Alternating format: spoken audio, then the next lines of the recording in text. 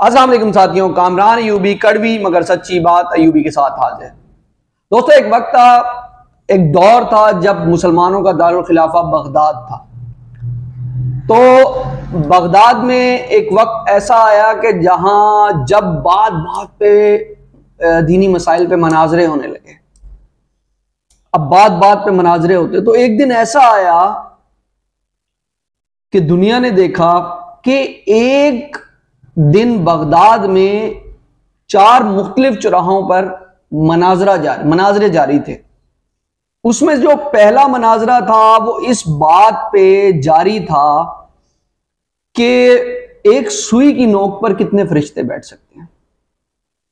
Same उसी वक्त दूसरे चौराहे पे जो बहुत ही आ, एक कहते हैं इंपॉर्टेंट बात पे डिबेट जारी थी वो ये बात थी कि कौवा हलाल है या हराम।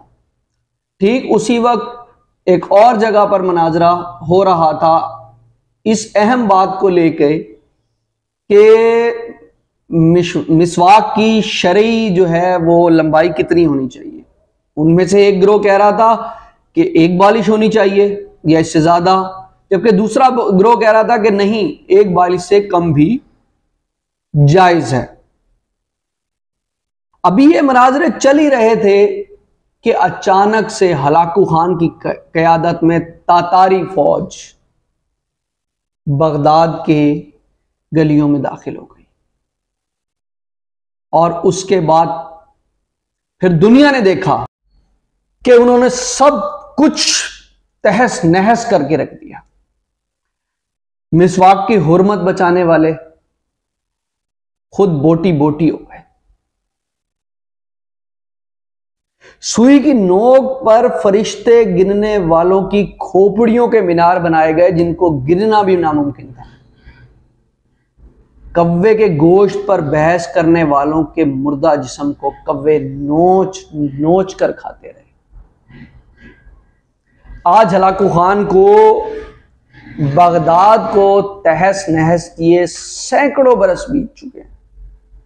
लेकिन कसम ले लीजिए कि मुसलमानों ने रत्ती बराबर भी इस बात से सबक सीखा आज भी मनाजरे जारी सोशल मीडिया पर, अपनी महफिलों में, मसाजिद के मिंबर पर। लंबाई कितनी होनी चाहिए, दायरा कितना होना चाहिए, पजामा कितना ऊँचा होना चाहिए, टखनों से कितना ऊपर, कितना नीचे होना चाहिए। फिरके और मसलक के हमारे झंडा बरदार, अपने अपने फिरकों को जन्नत में ले जाने के दावे कर रहे हैं। और दौरे हाजिर का हलाकू खान एक एक करके तमाम मुस्लिम ममालिक को नेस्ता नाबूद करता हुआ आगे बढ़ता चला जा रहा है। अफ़गानिस्तान, लीबिया, इराक, सीरिया में बच्चों की कटी फटी लाशें गिनने वाला कोई नहीं है। बेगुनाहों के खोपड़ियों के मीनार आज भी बनाए जा रहे हैं। आदम की नस्ल के नौजवान बुज़ुर्ग बच्चों की लाशों को आज भी कव्वे नोच नोच कर खा रहे हैं। और हवा की बेटी आज भी अपनी असमत बचाने के लिए उम्मत की चादर का कोना तलाश कर रही है। जी हाँ, और हम सब खामोशी से अपनी बारी का इंतज़ार कर रहे हैं। दोस्तों, ये तमाम तर बैकग्राउंड देने का मकसद सिर्फ़ इतना है कि आज कल आप मीडिया पे बहुत ज़्यादा इंजीनियर मोहम्मद अली मिर्ज़ा उनके साथ रिसेंटली जो मामला चल रहे हैं मनाजरा करें मनाजरा करें कुरैशी हनीफ कुरैशी साहब इससे पहले आ, मुफ्ती तारिक मसूद साहब भी वहाँ पहुँचे थे। तो बहुत सारे मामला हैं। मैं सिर्फ़ एक मैं ये सारे हमारे लिए काबिल एहतराम हैं। सवाल सिर्फ़ ये है कि हम कहाँ जा रहे हैं। हमें अपने पुराने टाइम से सीखना चाहिए। जैसे हलाकू खान ने बगदाद में सैकड़ों बेगुनाहों के सरों की खोपड़ियाँ बनाई थी, आज भी खोपड़ियाँ, खोपड़ियों के मीनार दौर हाजिर का हलाकू खान बनाए चले जा रहे हैं। वक्त से पहले अगर हम समझ जाएँ तो हम बच जाएँगे। वरना हमारा नेस तो नाबूद होना तय है।